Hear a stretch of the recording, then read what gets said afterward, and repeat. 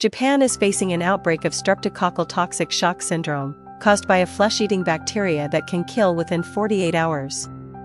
Nearly 1,000 cases have been reported by the start of June.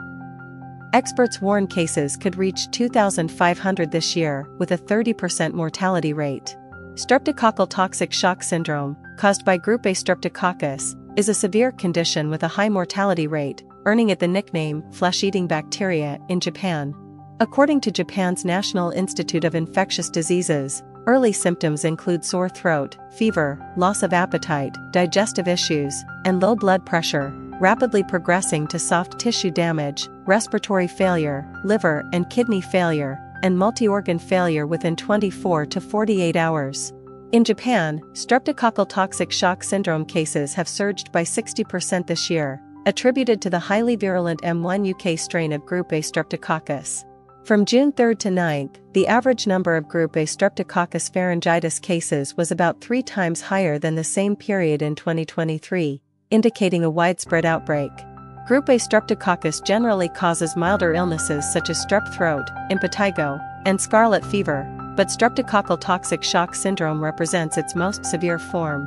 The severity of streptococcal toxic shock syndrome is attributed to an excessive immune response to group A streptococcus toxins, potentially leading to acute respiratory distress syndrome and other complications.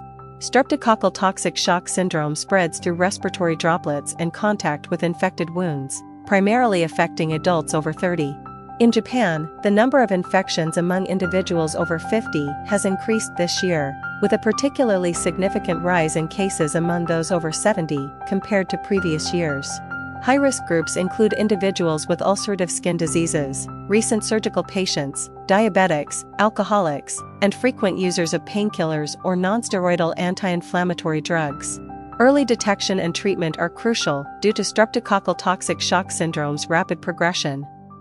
Severe limb pain, significant throat pain, high fever, delirium, or rapidly spreading redness and swelling around a wound require immediate medical attention.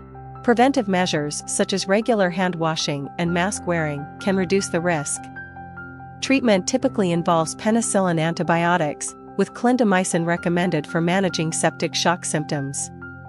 Syndrome's rapid progression is vital for effective prevention and treatment.